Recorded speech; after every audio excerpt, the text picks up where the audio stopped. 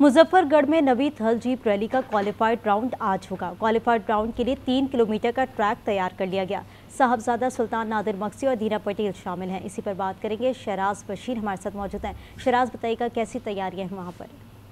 जी, बिल्कुल नौमी Thal jeep rally का क्वालिफाइड राउंड जो है वो आज होगा। यहाँ पर अगर बात की जाए तो यहाँ पर आज क्वालिफाइड राउंड के लिए तीन किलोमीटर का जो ट्रैक है वो तैयार किया गया है। यहाँ पर आ, कल जो है सौ से करीब जो है वो यहाँ पर आ, जो रेसर हैं ड्राइवर उनकी गाड़ियों को रजिस्टर किया गया था टैग, उनकी टैगिंग की गई थी। आज इस क्वालिफाइड राउंड के अंदर वो गाड़ियाँ जो है वो हिस्सा लेंगी और उसके बाद आ, कल जो है इसका मुकाबला प्रॉपर जो है वो शुरू होगा।